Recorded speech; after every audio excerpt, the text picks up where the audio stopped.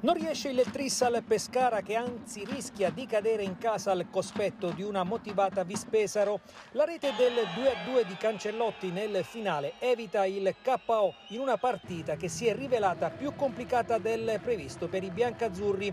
Auteri conferma con il 3-4-3 per 10 undicesimi la squadra di Carrara con Rasi unica novità rispetto a domenica scorsa.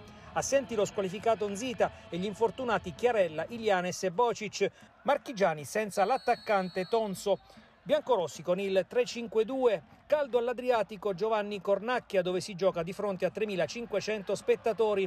Al secondo minuto pronti via e Delfino in vantaggio con De Marchi che innesca Clemenza che in sospetta posizione di fuorigioco in area supera Farroni per il gol dell'1-0. Proteste ospiti ma Frascaro di Firenze convalida la rete. Gara che sembra mettersi subito in discesa per i biancazzurri che rischiano però già al quarto minuto quando Rossi prende la mira dai 25 metri chiamando il portiere del Pescara Di Gennaro alla parata in angolo. La squadra di casa continua però ad attaccare. Al quattordicesimo ci prova Rasi di testa che sfiora il palo con Farroni che sembrava battuto. Al ventinovesimo però dopo inutili affondi la Vispesaro ha una clamorosa occasione per pareggiare ma Cannavò di testa a tu per tu con Di Gennaro trova il miracolo del portiere del Pescara. Al 32esimo però arriva il pareggio ospite con Memusciai che va a commettere fallo in area di rigore su Saccani.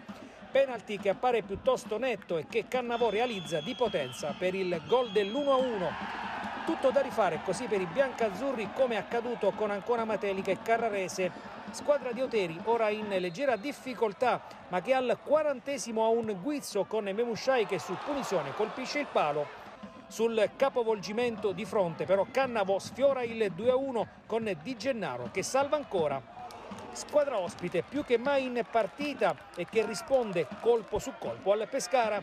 Nella ripresa si riparte senza sostituzioni e con il Pescara in vantaggio al secondo dopo un contropiede finalizzato da Duzzi. Il gol regolare viene però annullato dal direttore di gara su segnalazione del primo assistente. Grandi le proteste dei biancazzurri, ma la rete non viene convalidata. Il Pescara nervoso riprende a premere ma in maniera disordinata. Auteri dalla panchina pungola i suoi ragazzi al sedicesimo passa al 4-3-3 mandando in campo Marilungo, Rizzo in grosso per Clemenza, Zappella e Rasi. Al diciottesimo si rendono pericolosi i padroni di casa con un tiro a giro di Dursi che sfiora il palo.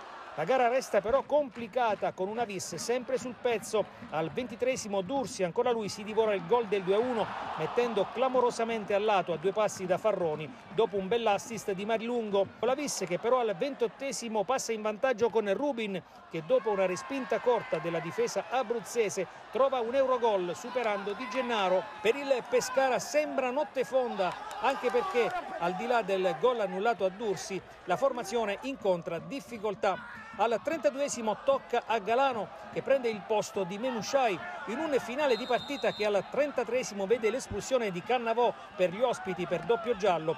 Gli Accazzurri così all'assalto nel finale con tanto disordine ma con il gol del 2-2 che arriva al 41esimo con Cancellotti che di testa su angolo di Pompetti mette il pallone in rete. Con la superiorità numerica gli abruzzesi ora attaccano con Galano pericoloso al 44esimo prima del recupero che vede il Pescara ancora pericolosissimo con Ferrari che prima si vede annullare la rete e poi trova la parata di Farroni a pochi secondi dal termine. Finisce 2-2 con tante recriminazioni ma anche qualche riflessione in casa Pescara.